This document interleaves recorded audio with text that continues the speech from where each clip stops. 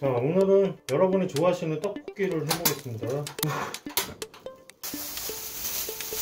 이게 시장에서 사온 가래떡입니다. 슈퍼마켓에서 파는 그 떡하고는 차원이 틀리더라고요 어렸을 때 이렇게 떡을 해다가 집에서 떡볶이를 해 먹었을 때 그 맛 그거를 잊을 수가 없어서 가끔 이렇게 해 먹는데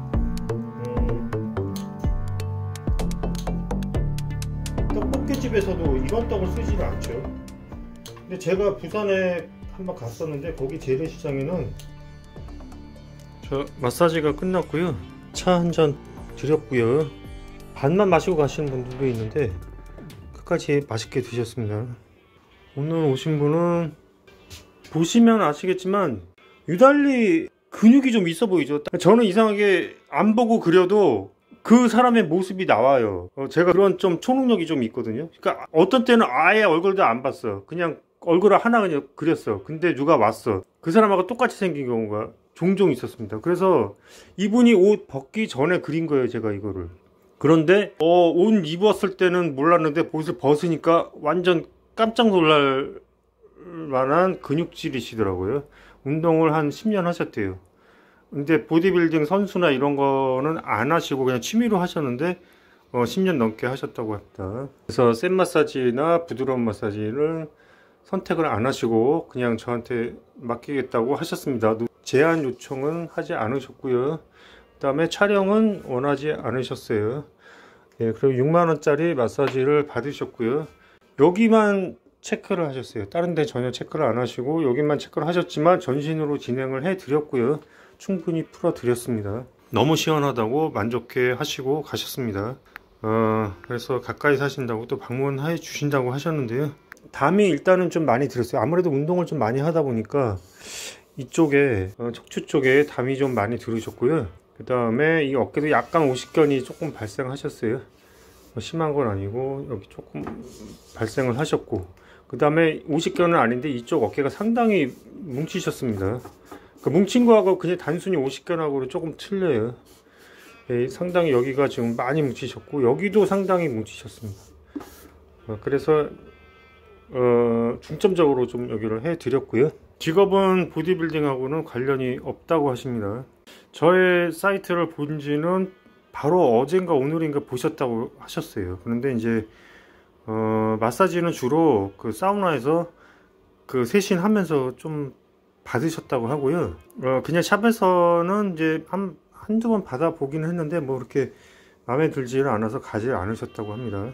아무래도 남자가 좀 세니까 남자한테 이제 받기를 원하셨고 그래서 검색을 하다가 어, 찾았는데 좀 사이트에 좀 자세하게 설명이 돼 있고 좀 내공이 있는 것 같다 이렇게 느끼셨나 봐요. 그래서 자세히 좀 읽어 보시고 방문을 하셨는데요 너무 만족하셨다고 하시고 돌아가셨습니다.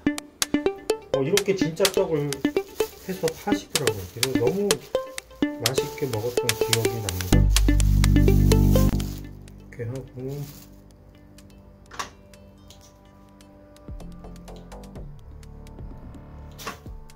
떡이 만약에 이게 좀 딱딱해져 있, 다 하실 때는 물에다가 충분히 담궈 가지고 불린 다음에 사용을 하셔야 되고요 지금은 뭐 그렇게 불릴 필요는 없을 것 같아요. 원래 딱딱하니까.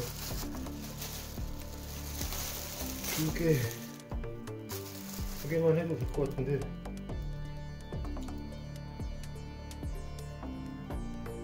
혼자 다 먹을 겁니다 두 개 반이나. 부품은 터치 올라는 거예요. 저는 냉장고가 없기 때문에 뭐든지 조금 조금 사다가 먹어야 되고요. 저는 이제 끓기 전에 넣습니다.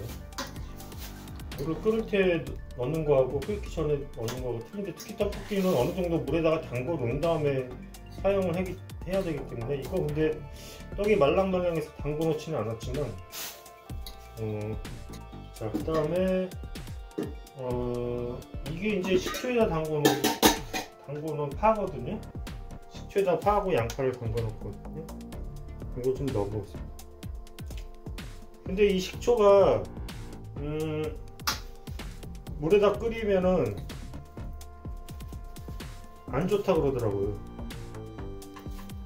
산만 남는다 그러더라고요. 그래서 산이 너무 강해가지고 위암 걸릴 수 있다 그런 얘기가 있더라고요.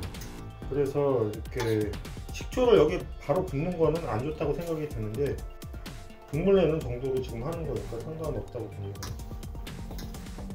자, 이렇게 이 정도로 했고요. 저는 참고로 식초를 좀 많이 먹는 편이어가지고요. 옛날에 위장에 구멍이 날 때까지 진짜 먹어봤어요. 두 배 식초를 막 꿀꺽꿀꺽 삼켜 먹, 먹고 막 그랬었는데도 탈이 안 났어요. 저는. 병원에 가서 위 내시경을 받았는데 어, 위가 조금 허- 전망이 허렇다고 그러더라고요. 그때는 내가 너무 과하게 먹어가지고 그랬고 조금 안, 안 먹으면 또 괜찮아져요. 워낙 제가 좀그 전망이라든지 이런 것들이 좀 튼튼한 편인 것 같아요. 그 다음에 지금 강황을 넣어주겠는데요. 이 강황이 너무 많이 넣으면 조금 틀고요. 살짝만 넣으면 좋겠습니다. 약간 매콤한 맛이 있는 것 같아요. 이 강황이.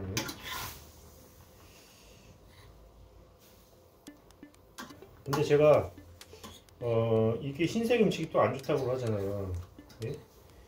그래서 빨간 빨갛게 만든 꽃 떡볶이는 괜찮겠지 이렇게 생각을 하고 빨간 음식을 자꾸 먹다 보니까 어 이게 매운 음식을 좋아하는데 이상하게 많이 먹으면 꼭 그 속이 아프더라고요 저는 이상하게 그래가지고 못 먹겠어요 고춧가루 고춧가루가 또 비싸기도 하고 그래서 고춧가루 사다가 집에서 이렇게 막 음식을 막뭘 넣, 넣어서 먹다 보면은 이상해요 좀.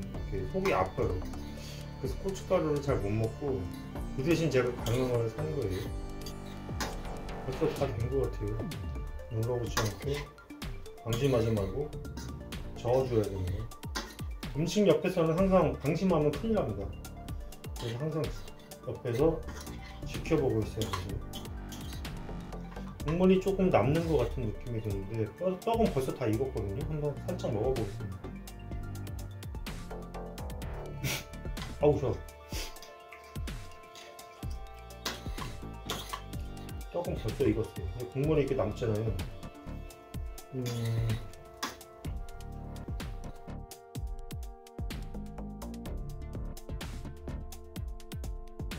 자 국물이 다 잦아 들었고요 이 정도면 된 것 같습니다 되게 맛없게 생겼죠?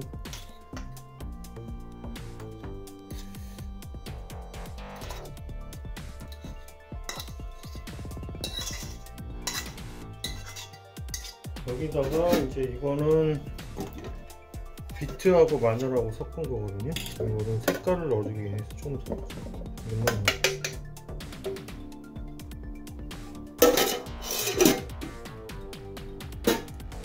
비트에다가 식초를 담궈 둔 겁니다. 그럼 색깔이 이렇게 우러나가야 되거든요.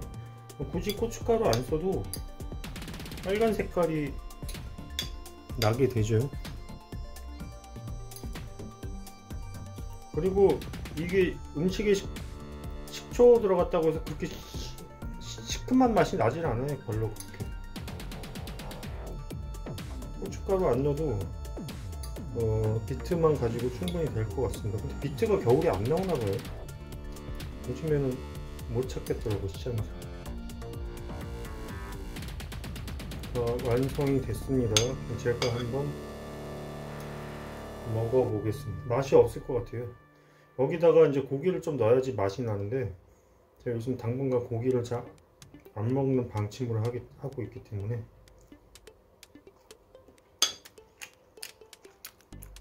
먹을만 합니다 그냥 음. 괜찮아요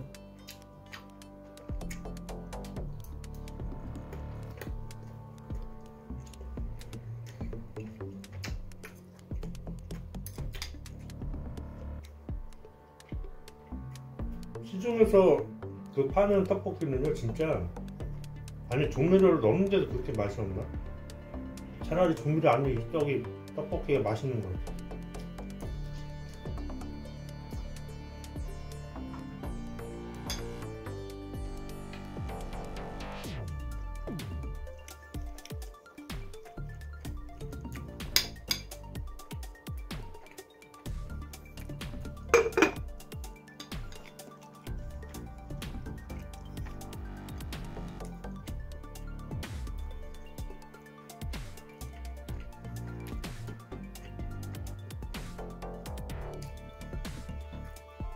조미료 안 넣어도 씹다 보면 맛있어져요